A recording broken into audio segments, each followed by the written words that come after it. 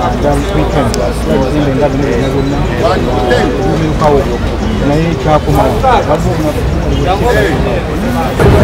badde nkyasika nkyasikaza ndigawo wansi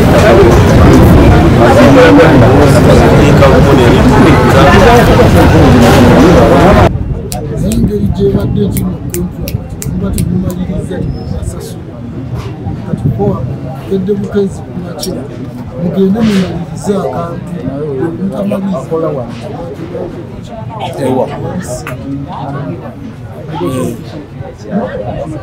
nze badde si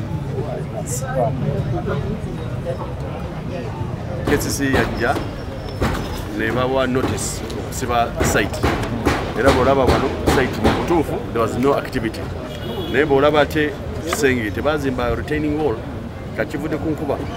Waliwo toilet baddeawo ne bathroom kakivudde ku nkuba okuleeta ekisenge ekyo wansi ne- ne- netta abantu ono abadde n'olukusa okuzimba. Ch- yes uh, ndoza olaba board eri awo waggulu era mbadde nsaba mugende kupinga board eyo abadde alina approved plans buli ekyetagisa kya kcca abadde akiyina but this is just unfortunate naddala bwolaba mabega wange. Its because of the rain.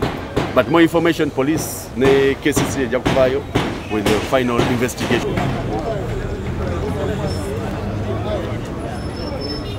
Byenzuddewo site teri safe nakatono because ensima gye basimamu si ensima eraga okwegendereza because site mean, okusima okusima foundation eri so deep nga teri protected.